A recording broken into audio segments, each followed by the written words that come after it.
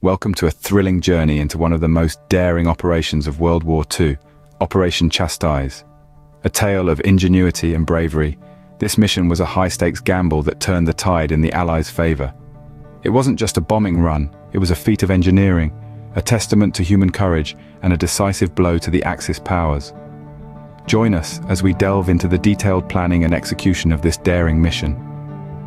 To appreciate the audacity of Operation Chastise, we must first understand the historical context. This takes us back to the throes of World War II. Germany was fueling its war machine with resources from the industrial heartland in the Ruhr Valley. This region was a powerhouse of production, churning out steel, coal and synthetic oil vital for the Nazi war effort the Allies recognized the strategic importance of this area. They knew that crippling these industries could significantly undermine Germany's capacity to wage war. But the Ruhr Valley was heavily defended, and conventional bombing raids had proven to be ineffective. The solution? Target the Ruhr Valley dams. Breaching these dams would cause massive flooding, disrupting industrial production, and diverting valuable resources to damage control the stage was set for what would become one of the most daring missions of the war. The planning and execution of Operation Chastise was an engineering marvel. An audacious plan hatched in the throes of the Second World War, it called for a unique weapon, the bouncing bomb. This wasn't your run-of-the-mill explosive. The bouncing bomb was a remarkable feat of engineering, designed to skip over the surface of water like a stone, evading underwater defenses before sinking and detonating against the dam walls. The brainchild of British engineer Barnes Wallis, this ingenious device was unlike anything the world had ever seen. But developing the bomb was only the first hurdle. Now they had to figure out how to deliver it. Enter the Lancaster bomber crews. These were the brave men tasked with flying the mission. The training was grueling. The crews had to learn to fly at an alarmingly low altitude of just 60 feet, in the dead of night, all while navigating enemy territory. Precision was key. Too high, and the bomb would not skip too low, and they risked crashing into the water. After months of relentless training, they were ready. On the night of May 16, 1943, 19 Lancaster bombers, each carrying a single bouncing bomb, took to the skies.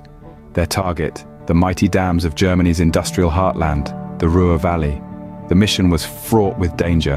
Anti-aircraft fire lit up the night sky as the bombers made their approach. Navigating by moonlight and the glow of flares, the pilots had to maintain their nerve. Each bomb had to be released at the precise distance from the dam to ensure it would bounce correctly and strike its target. And then, one by one, the bombs were released. With a thunderous roar, the first dam was breached, followed by the second.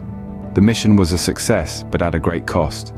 Eight aircraft were lost, and 53 men never returned. The mission was fraught with danger, but the crews were determined to succeed. Their courage and ingenuity would go down in history as a testament to the human spirit, forever immortalized in the annals of military history. Behind every great mission are the heroes who risk it all. This was no more apparent than in Operation Chastise. These courageous men, the crews of the Lancaster bombers, were the lifeblood of this daring mission. Each one was a volunteer aware of the risks, yet unwavering in their commitment. Their task was formidable, to fly at night, low over water and under enemy fire, to deliver a weapon that was, in itself, a marvel of ingenuity. Many of these brave souls never returned. 53 men, to be exact, made the ultimate sacrifice, their lives given in the pursuit of a mission that was against all odds. Their names may not be universally known, but the legacy they left behind is one of courage and selflessness. These were the unsung heroes of Operation Chastise, men who risked it all for a cause greater than themselves. Their sacrifice was immense and their bravery unparalleled. Operation Chastise had immediate and long-term effects on the course of the war. In the immediate aftermath of the mission, the breached dams flooded the Ruhr Valley, causing substantial damage to infrastructure, industrial plants and residential areas. This flooding temporarily disrupted the region's war production, giving the Allies an upper hand. The destruction also had a psychological impact. The German public, until then confident in their invincibility, was shaken. The Allies showed they could strike at the heart of the Reich, shattering the illusion of invulnerability. Operation Chastise was a psychological victory as much as a strategic one. In the long term, the operation forced Germany to divert significant resources to repair the dams and defend against potential future raids. This diversion of resources and manpower had a crucial impact on the course of the war. The German air defences had to be spread thinner, making them less effective, and further bombing raids by the Allies became more successful. Meanwhile, back at home, the operation boosted morale among the Allies. The dambusters became symbols of courage and ingenuity. Their daring mission, while fraught with sacrifice, demonstrated the resilience and determination of the Allied forces. The Dambusters raid, as it came to be known, remains a significant event in military history. Its strategic and psychological impacts, as well as the bravery and ingenuity it showcased, have ensured its enduring legacy. Operation Chastise reminds us of the audacity, bravery and ingenuity of those who came before us.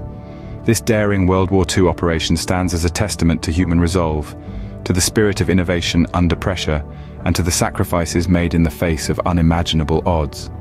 It's a chapter of our collective history that deserves to be remembered and revisited, a thrilling story of courage and determination.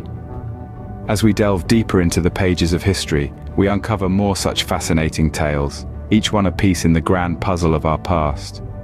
We invite you to join us on this journey of discovery.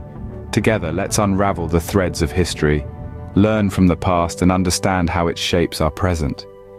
If you enjoyed this thrilling journey into history, please like, share and subscribe for more. Remember, history is not just the past, it's the story of us.